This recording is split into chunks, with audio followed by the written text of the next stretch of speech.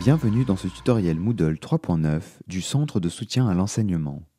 Dans cette vidéo, nous allons voir comment afficher la description d'une activité ou d'une ressource directement sur la page de votre cours Moodle.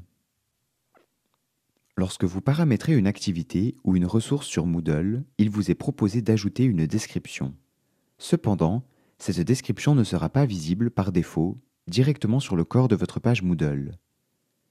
Comme vous pouvez le voir à l'écran, nous avons inséré dans la section 1 deux éléments, respectivement une activité forum et une activité devoir. Les deux éléments ont chacun une description spécifique, mais comme vous pouvez le constater, seule celle de l'activité devoir est affichée sur la page du cours Moodle.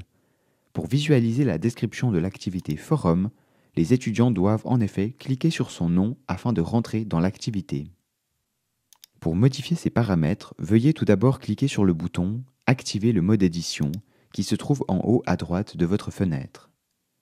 Une fois le mode édition activé, ouvrez le menu déroulant Modifier qui se trouve à droite de l'activité ou de la ressource en question.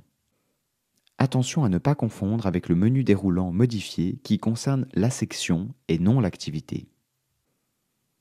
Une fois la liste d'options proposées ouverte, veuillez cliquer sur Paramètres.